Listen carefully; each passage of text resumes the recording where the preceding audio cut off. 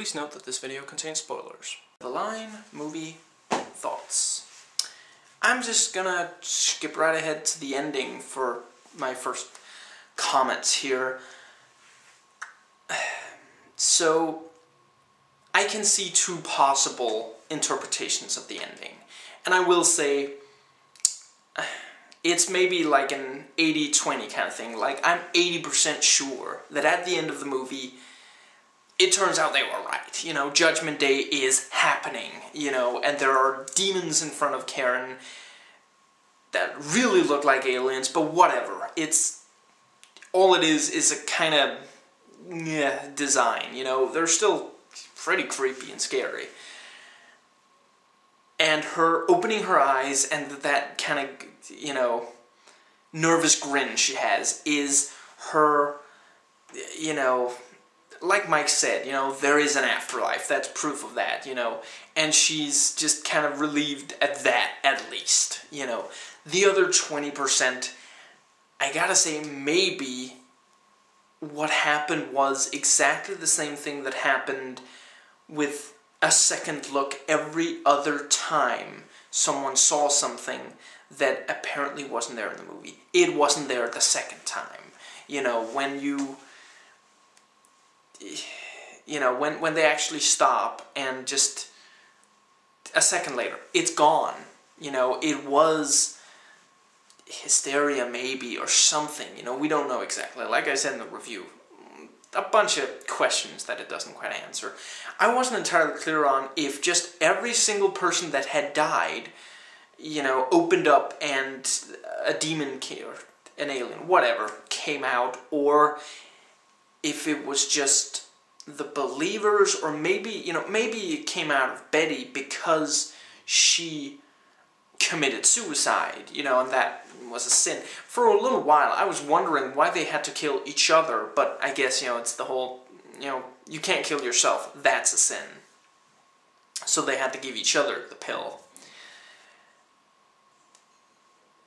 But yeah, you know, I, I do wonder what exactly, if just every single, you know, who, when did demons come out and when didn't they, or did they just always?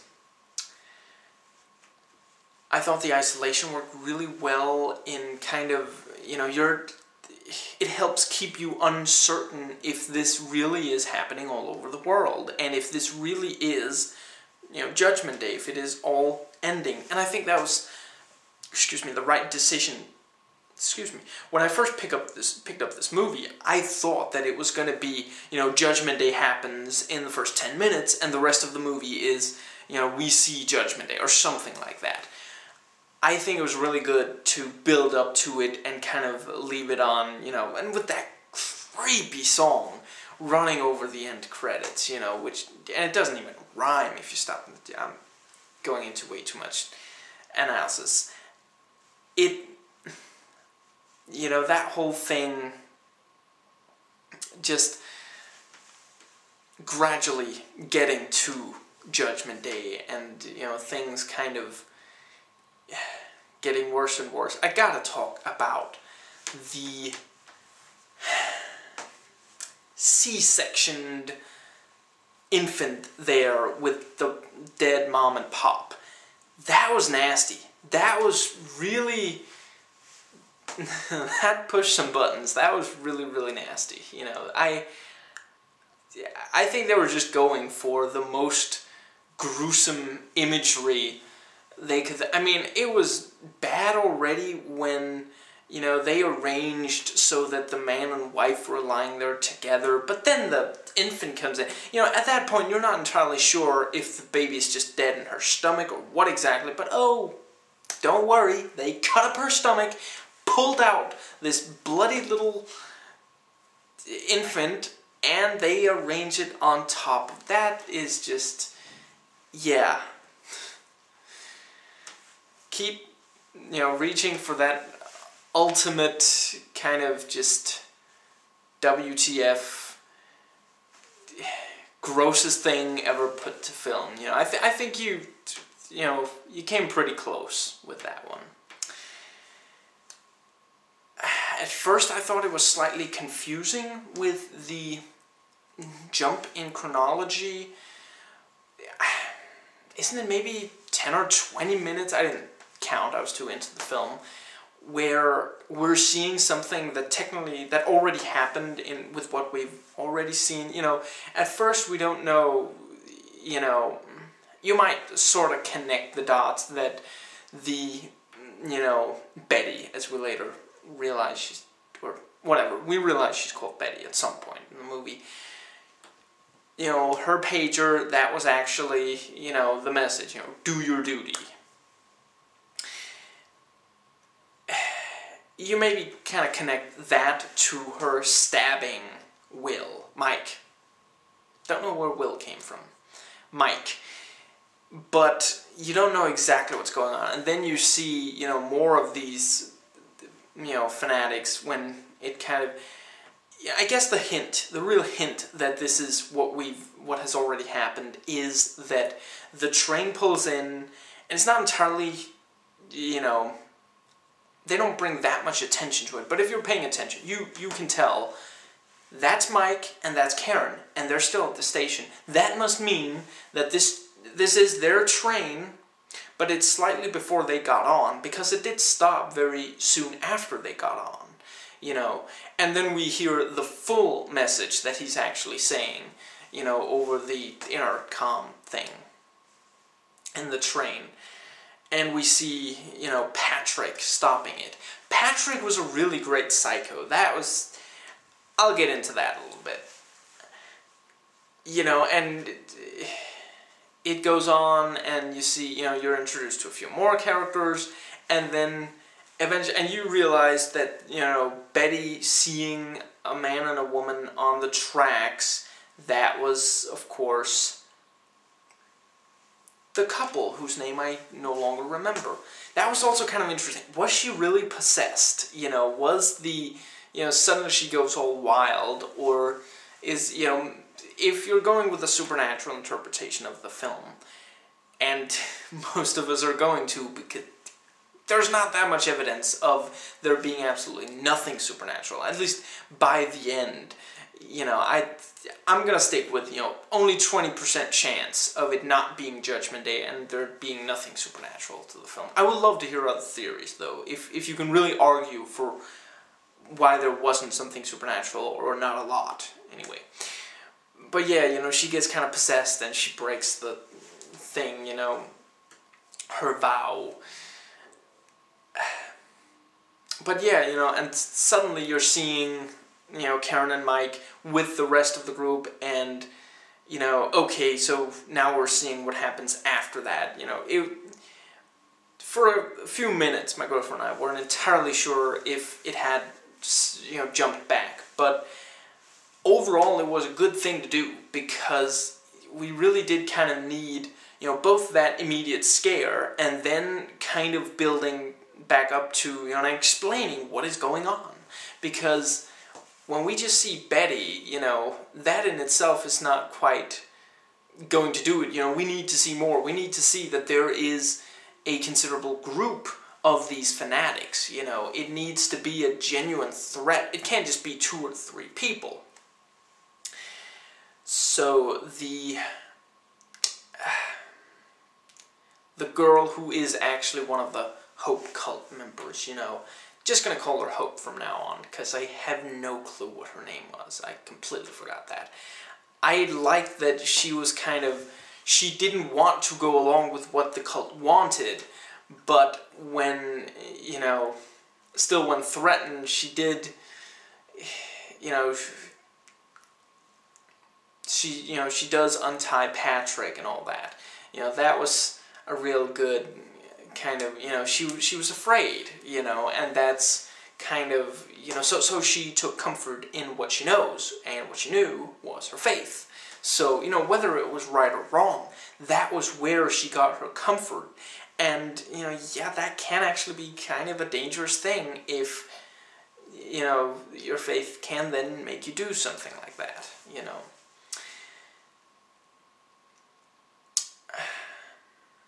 I don't know what the... I'm not entirely sure who the Vi- Vivian or Vi- Vivian. Oh, what, what was that? The Japanese girl who jumped in front of the train? I, I don't know. I, I must have missed it because I, in the credits I see a Vivian character, and you know the those drawings she kept getting were from you know so it must be some psychic character, and I'm thinking maybe it was the Japanese woman who jumped in front of a train. You know. the visions of the you know people with closed mouths and eyes you know very creepy but i'm not entirely sure what they're kind of supposed to is that like the demons you know prior to us seeing their final form or you know what exactly is that I, I like that we see one of the demons in sort of final form in you know kind of early on or maybe towards the middle, you know, when the two train workers are, you know, on opposite sides of the door. That was also a really interesting situation. You know, suddenly you hear the pager go off, and it's like, do you know something about this? Why is there a pager in your locker? You know, the, the kind of paranoia, can I trust you? I've known you for years, but can I trust you? You know, and it's you know, the wife. I did think it was slightly corny with the, you know, so he says, you know, I've been eating nothing but muffins and rye bread, you know, and then later, Hope, something about muffins, how she's been eating muffins, you know, Patrick says those muffins are really addictive, you know. I don't know, I guess I thought maybe they put something in the muffins to. If that's never actually confirmed or not, I, I guess it was just to tie those things together to say, you know, because we needed something. I mean, we knew that Patrick was a member of the cult, and we knew that Hope was. I guess it was just to have them, you know, connect from that kind of, you know, common trait because they, they needed that. That that was also a really good scene with you know Patrick trying to convince her. And, you know, she actually does end up stabbing her boyfriend. Although not entirely um, out of her own free will. I also really like that, you know, at the end of the film, essentially everyone's dead. You know, there's not really any. Eh, and that's kind of the way this film should go. You know, we shouldn't have someone survive and make it out at the end. You know, it should end with, you know, again, only the 20% left of maybe it was just, maybe it wasn't real. I do think that, you know, correct me if I'm wrong, but wasn't Mike. Yeah, Mike was alive. I'm pretty sure Mike was alive and he was kind of dragging towards where she was. But nothing actually comes of that. We don't see him attacked by the demons, and he's just, you know, I don't know. It just seems like they could have let him die, or could have maybe killed him, or something. I don't know. I guess they were just building up to, you know, we were supposed to think that they were going to be rejoined, and, you know, there was going to be, I mean, literally, when my girlfriend saw him at the train station, you know, she said, oh, love interest, you know, and yeah, I was kind of, you know, you just knew that guy had to be the one to, you know, yeah, obviously. But then they build up to they're gonna, you know, get back together, and then they don't, you know, and she's apparently attacked by the demons with the Terminator eyes and everything. And, you know, that doesn't, you know, that, that was pretty good. But yeah, the the Japanese girl who jumps in front of a train was she a believer? I, you know, I maybe my girlfriend and I noticed that most of the people who saw, eh, in fact, I think, except for Karen, I think, correct me if I'm wrong, everyone who saw someone with a messed up face or something, again, maybe except for the Japanese girl, but we don't know about her, was a member of the cult, you know, believed in that, you know, Hope sees it, and one of the train workers, excuse me, the train worker who, not a believer, but a cult member, sees, you know, a demon. you know, so maybe it is that they see it, and maybe it is some sort of mass psychosis, you know. Am I the only one who thought that their prophet, you know, the priest, either looked like kind of Glenn Beck meets Rush Limbaugh, or maybe, according to Jim's Andy, in 30 years? Who am I kidding? He's never going to live that long. I guess it was supposed to be blood on the television screen, you know, before, you know, the prophet came on and told people.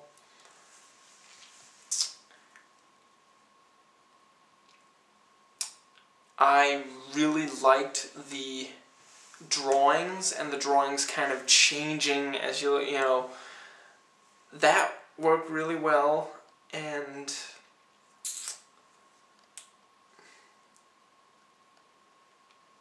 but yeah the you know Karen keeps seeing the Japanese girl who killed herself and that's kind of you know why though you know she's never at, at the very least, why her? You know, if they are just seeing things because, like, you know, the devil is breaking back into our world or he's, you know, waging war against, you know, God. I don't know, why only her? She appears to be the only one who really sees something that is there, again, apart from some of the, you know, cultists. So, yeah, I'm not entirely sure why that... I suppose that pretty much covers everything. I like that the film kept changing locations without it being like, you know, oh, suddenly we're over here. It was very, you know, you followed them on their just desperate struggle to stay alive, to keep them away. And, you know, when the children appear and, you know, Hope's boyfriend is actually forced to kill a child, you know, that was really terrifying. And, you know, I like that we see some of the believers not being, you know, some of the cultists not quite, you know, having, having doubts, you know, not wanting to, yeah. Anyway, the, the you know, when the train broke down, for a while, I worried that the rest of the film would be set on a train or something, you know, that it was gonna go for that kind of thing. I don't think that would have worked at all.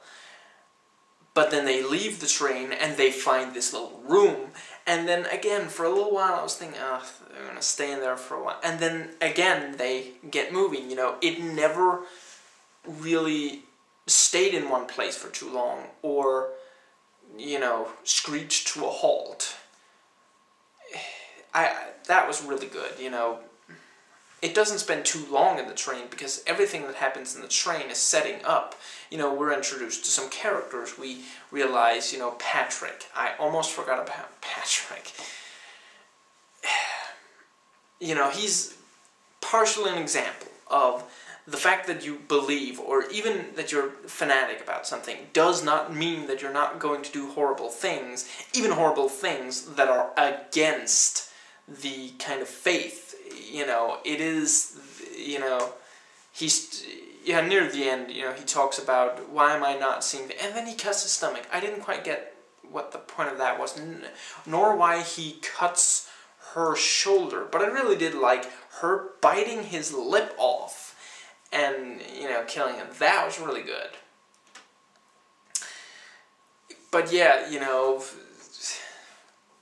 rapists or you know, attempted rapist, but still, and just scumbag. You know, he's just so disgusting and deplorable, and it just it really worked. You know, he was, you know, you love to hate him, and you know, how he kind of almost gets away with some of these things on account of, I, you know, I would say his stat status. You know, although Betty does outrank him still, you know, it was kind of weird when, he was referred to as one of the lieutenants or something of the priest. I think they should have gone with a word that actually, you know, meant something within the kind of religious. I don't know. It just it seems a little too military, where it should be more, you know, like something like be careful, he's an ordained priest in this religion. Something like that, you know, so we get, obviously it's important that he has this status, but yeah, different terms, all I'm saying. I, I would say that's why he is allowed to, you know, because quite clearly he's not that strong a believer, you know. I think the bit with the train worker was a test. I'm not saying they wouldn't still have killed him if he had killed his wife, but I do think that it was, you know, a genuine, you know, they wanted him to kill her. She was going to be killed anyway, you know, not sure why, but yeah, you know, not everything in this movie makes sense, and I don't think it's supposed to either. It's just supposed to mess with you. And it does. There were a couple of lines that I thought were just, I don't know, kind of off. I,